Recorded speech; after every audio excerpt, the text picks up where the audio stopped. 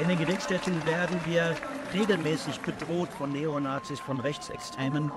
Das schüchtert uns aber nicht ein, sondern wir werden weitermachen mit unserer quellengestützten, wissenschaftlich basierten Auseinandersetzung mit den nationalsozialistischen Verbrechen. Die sind grundlegend für unsere demokratische Selbstverständigung.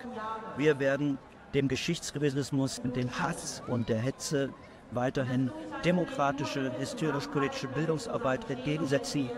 Hier so viele Menschen stehen und sich für Demokratie und eine vielfältige Gesellschaft einsetzen. Das macht einfach Mut und ist ein wunderbares Zeichen.